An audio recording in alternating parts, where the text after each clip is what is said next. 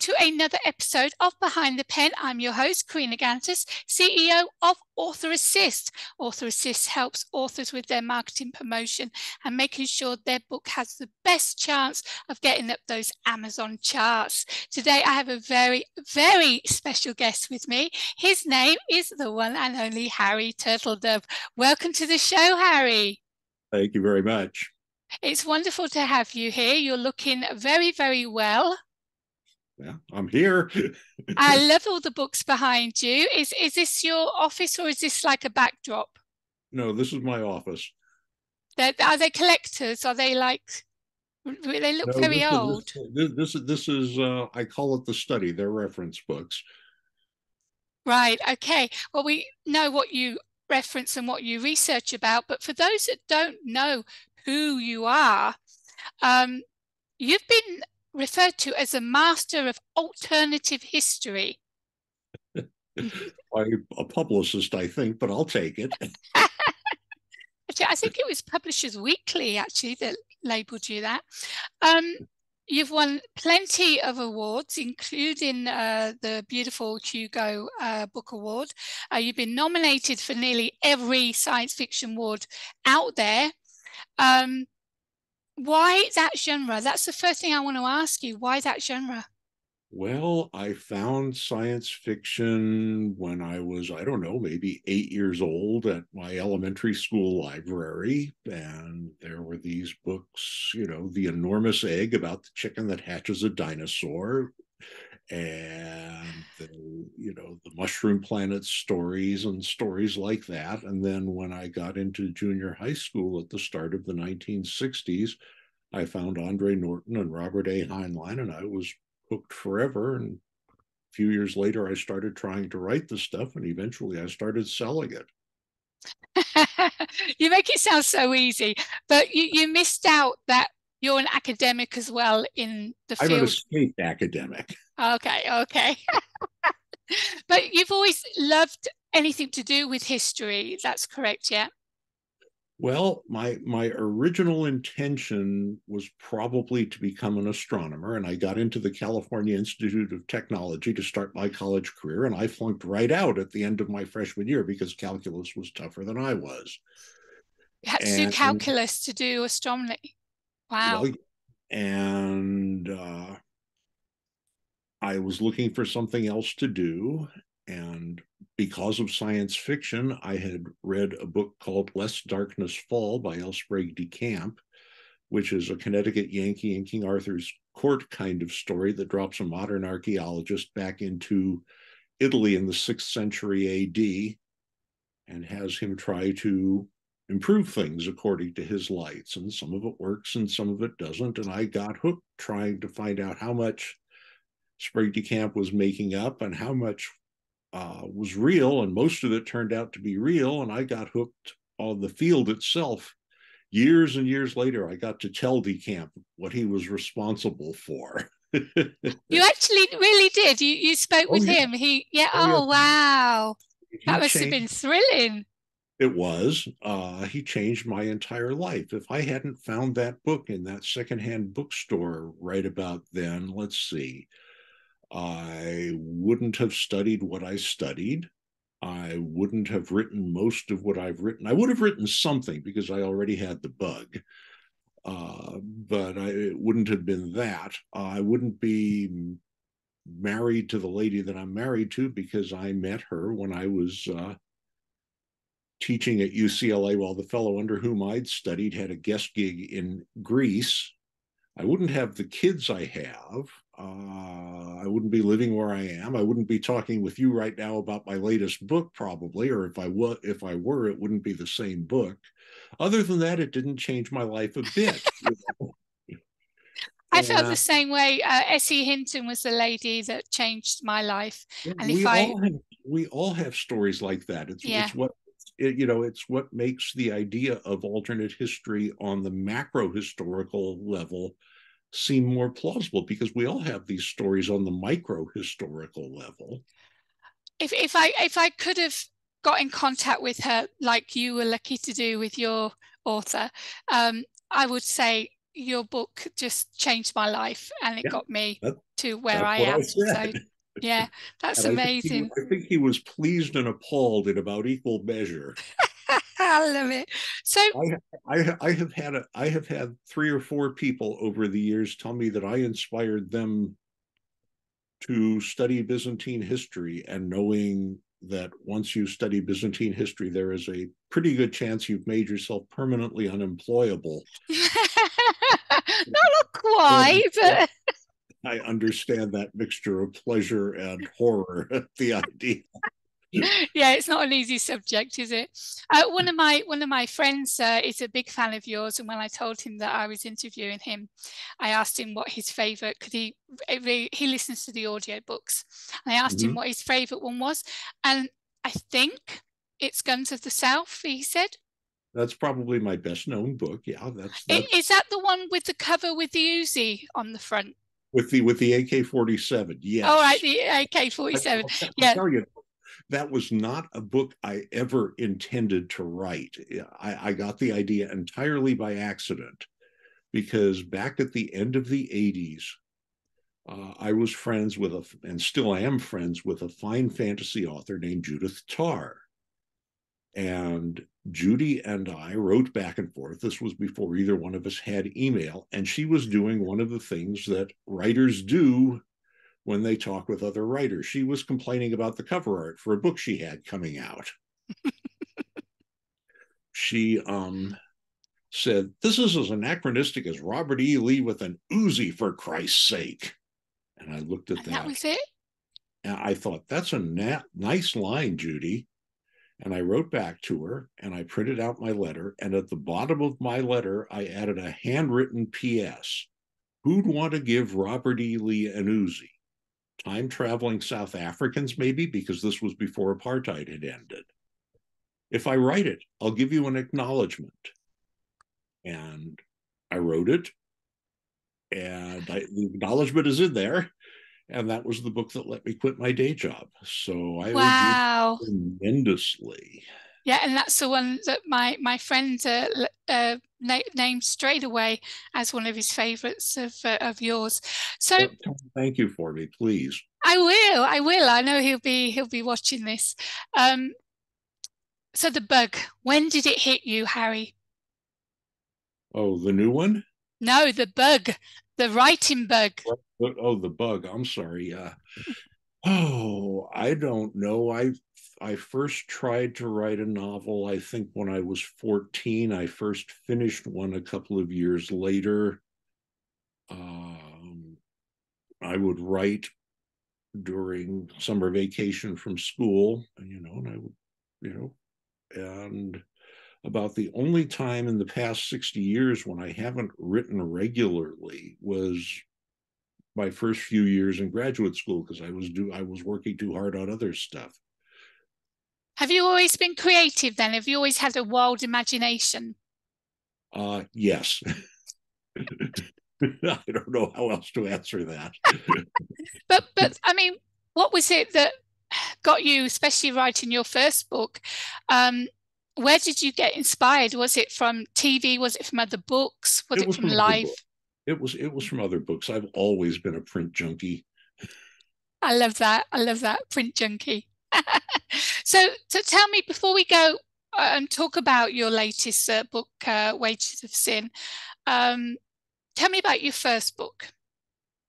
Oh, my first book was a sword and sorcery novel called the first book that sold Yeah.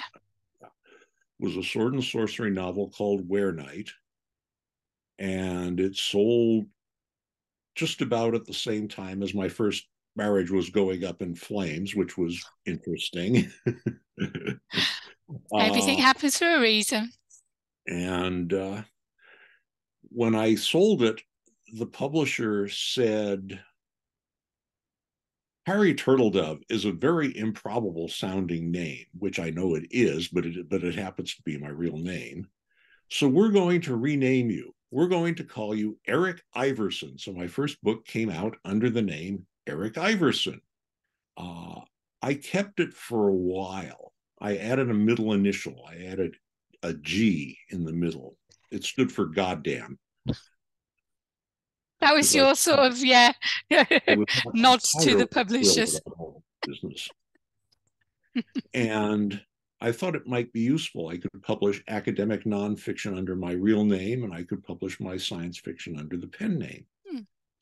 Then I sold Lester Del Rey four books of Byzantine based fantasy, which really made me a writer just doing them. Yeah. And Lester said, You know, if you want to stay Iverson, I don't think I'm going to buy these. We're going to change you back to Turtledove. People will remember it. Crazy. So I've, been, I've had Turtledove as a byline ever since. And I'm probably the only author running around more or less loose who has had both his pen name and his own name imposed on him by force. You've had a few though uh, pen names, not just the Ivan. You've had a, a, few others. Is it because you've changed genre, maybe? No, the hmm, excuse me. Um, you you one of the reasons you you have a pen name is if you have two stories running in the same magazine in the same issue, they will you know one of them will be under a pen name.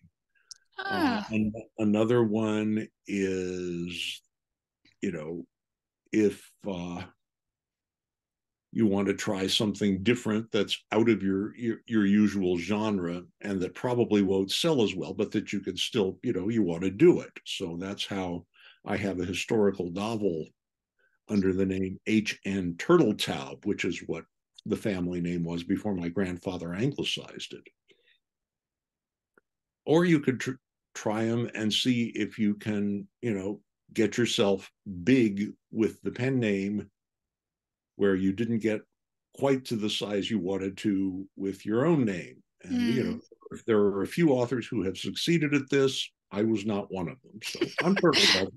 well, you. got famous with your own name, so that was that was the that was best. Because I mean, who who has a name like Harry Turtledove? It's it's so unusual. It's it's it's it belongs to you. It you belongs know, up, to your up books. Until, up until recently, I was the other Harry Turtledove because I had a first cousin who was 20 odd years older than I am, who was also Harry Turtledove. But he wasn't an author. Uh, he was published, but he wasn't mostly an author. He was mostly an advertising man. uh, just uh, going back one second, uh, you said that um, you you um, had that uh, you doing the academic books with your real name. How many books of those did you um, bring out before you? I, I, pub- I published one, mm-hmm. uh, and I published four academic articles under my name. You know. Okay, what was the book about? It's a translation of a ninth century Byzantine chronicle. I knew you were going to say that. wow, you really have to have. 40 years later, it's still in print. I'm not surprised. I'm not surprised. It's probably the book that people go to for that uh, historical. There, well, that's that's because of the the author I was translating, not because of me. I know. Yeah, I know, but it's still you have to do a lot of research for any kind of historical book, whether it's um, uh, academic or fiction, oh, uh, which of course you do, uh, and which you love. Um, it's working. Yeah, it certainly is. so let's talk about uh, your latest book now. Uh, Wages I just silly... happen to have a copy with me. So I'm sure you do. Yay! Scottish. It's beautiful. And it's set in uh, the 1850s in England. Yes. Where HIV got loose in the early 1500s. That's and correct. it's what life is like now in the 1850s after that yes i mean you know i i was wondering you know what would life be like when the need to be extremely careful about whom you mess with runs headlong into the urge frankly to screw you know which we have and that was what the story was about and you know how do you set limits on desire? How do you set limits on expressing desire without, you know, risks? And, you know, and people are going to take risks and what happens when they do. Were there condoms those in that day and age? Did they create something that's similar to condoms to have uh, that protection the, the, for the, the guys? The, tech the tech wasn't there until you got vulcanized rubber, and that does not exist in this world. Wow. You know, I mean, you know, the, there were such things as lambskin condoms, but those transmit the virus. They don't block it. it wow. It because you can i can just i mean the 1500s there was no kind of um, healthcare at all uh, for any diseases or in the 1850s for that matter. oh yeah but i mean the 1500s even worse there was just everyone died from a cold you know there was nothing to to help people with anything. So i can just imagine by the 1850s that half of the planet must have been wiped out by hiv that's more that's more or less what we're talking about yes. Wow wow. It just it, it just blows my mind that the kind of uh, world that you would have created using that what if. And that's what all your books are. They are what if. And to come all, up with that's, these that's, that's pretty much all any book is you know. No no but yours is just like because you twist things. It's like what if this history was actually well, mm. this happened in this history and it sort of blows your mind thinking yeah well, what could have happened if that really you know, one of one of the fun things about writing alternate history you know any work of fiction is not about the world you're creating it's about the world you're living in. And what alternate history does is give you a funhouse mirror to look at the world you're living in that you really can't get with any other kind of fiction that I know of. So you don't put yourself in that era that you're writing about in the book. Well, you think of it as the world you're in now, as if that was that time. No, you you you can you can write about the the distant past, but the things that you have to say about it, the things in it that you think are particularly important, all of that stuff is a reflection of you now. You right. Know, when when you think about how were women treated, and of course the answer is badly, which is one of the major points of the book. Um, you know, somebody who's living in 1850s England who doesn't happen to be a woman, I mean, it's water to a fish. Well, of course, women are treated that way, you know. Mm and you just try to do the best you can with making it interesting, convincing, maybe if you're lucky, may, even making it thought provoking. Oh well, I'm I'm mind blown just just thinking about the actual idea. So yeah, thought provoking is one uh, description I'd use for the book. But what gave you that idea? I mean, of all the what ifs and what you've done so far in your previous novels, what gave you the idea of using HIV? Was it the pandemic we've just gone through? Uh, no, because I started on the book, I started working on the book before COVID hit. Oh, wow. So that wasn't it. Um, I think probably it's that I'm old enough to remember the HIV epidemic of the uh, 1980s and 90s before we could do anything much about it. Uh, pandemic among the in the gay community, of course. Yeah. Uh, you know, one of the fellows with whom I went to grad school died in 1986 at the age of 41. Poor guy, you know, just from being in the wrong place at the wrong time with the wrong person. And, you know, I'm old enough to remember that stuff. Yeah, I, I, I remember back then when it first uh, was um, known yeah. and, and the panic that ensured because of it. The um, and it was it was people were just talking about the gay community, but they didn't realize that it would be affecting normal well, uh, sexual uh, appetites. Yeah, you, you know, uh, if you look at what hap- happened in Africa, that's kind of closer to the situation in my book because there, due to you know different hygiene standards and everything. You know, Mm, AIDS was a disease of everybody. It wasn't just a disease of gay people. exactly. And- Yeah, because those are those are the kind of standards that would have prevailed in in that era, yeah, 1850s. Mm. this. I'm thinking like the the the law and the the kind of lawlessness that would be happening as well because of it all. Um, and people even knowing the risk, Are going to. uh, they, you know, sex is sex. You know, people's appetite Yeah. and you know the the the idea The of thing too. the the idea of of um, everyone being celibate.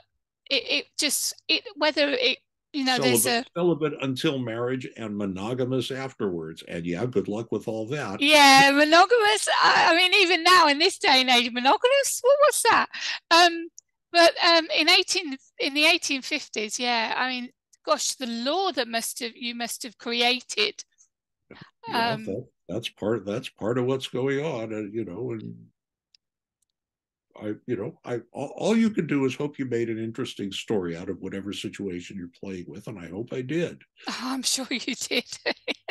yeah, I, I can. Uh, I can't wait to get uh, involved in this, uh, uh, dive into this book and and, and see where you've uh, taken it because it's uh, like I said, it's just the actual idea of what if is just mind blowing for this. Um, so, what's I mean, what's next after this one? What are you working on now, or what's coming out next? Because I'm sure you're working see. on a few. what's coming out next uh, i think the next thing that's coming out uh, is a fantasy novel called city in chains in a fantasy world that's sort of based on paris between 1940 and 1944 Okay, So- fantasy in 1940, 1944 in Paris. Hmm. uh, well it's it, it looks a lot like paris it's based on that it's it's it's a fantasy world Lovely. And- What's what's the world called? Well it's called the world you know but, Fair enough. I have to wait for that one then. I do love fantasy. I, I love I love Yeah. writing fantasy. I love reading fantasy because it just when you're writing it, everything and anything is reality because there's if, there's it's, no it's, holes. It's reality if you can make it interesting. Yeah, yeah, of course, of course. If you can make it fit in with the rest of the world you're writing about. That's it. I mean, anything you you you want to um, create uh, can be can exist in this world because it's fantasy. No one can say it doesn't, and that No. just allows your imagination free ride. I mean, it's it's a fantastic genre to write in. Yep. So, is this first of of, of a new series by any chance, or this, is this? this, this one is a standalone. I, I, oh, I also I also have a collection coming out next year that's called Other People's Playgrounds. It's stories that I've written in universes that other authors have created. You know, this is what, Wow. there, there there's a story set in Asimov's Foundation universe. There's a story that is takes off from Sprague Camp's Lest Darkness Fall that made me what I am today. There, you know, there there there there are others. How exciting! That that that that was fun to put together. I've I've I've got to do the uh, galley proofs on that. Probably when I get off talking with you today, because I mean- I'm on them. these these are books that have stories that have meant something to you. So to be able to dive into the world that this author's created and and make up your own uh Yeah. plot It's- that must have been very exciting. It- the, you know the, the story the stories were fun to do. And that's you know you know what one of the one of the nice things about being a writer is that you know what you do is usually fun. It, it's work but it's fun well yeah i mean if, it wasn't we wouldn't be doing it. But yeah it's uh i don't think people realize the the amount of time and effort that goes into writing a book. Um and writing's the easy part. That's the first part. It's the easy part. It's after that's uh, that uh, takes even more work, especially as a self-published author. But um, you have an agent, you have uh, publishers for for all of your books. Have you ever self-published at all, Harry? I've, I've I've I've done a novella or two. I have not yet self-published a book, though that may happen. Okay, good, good. Um, so with um, Wages of Sin, um, is it going to be entered into any contests, any awards? Because oh, I, you know, I I, ha- I have to see how people receive it, so I have no. The idea. subject matter itself. If everybody, if everybody, thinks it stinks, it's not going to be a contested for an it's award. It's not going to stink. You know that it's not going to stink. No way. no way is that going to stink. You're a writer, you never know that. You well, never know that. I know everyone has their in this business. Yeah, every, everyone has a taste, and, and not everyone's going to like it. We we know that from books, but as an author, you need to have that one hundred percent confidence in your work before you put it out there, and you know how good that book is, Harry. I hope. hope. You always hope. Oh, so um, all right where can people find the new book and all of your other titles?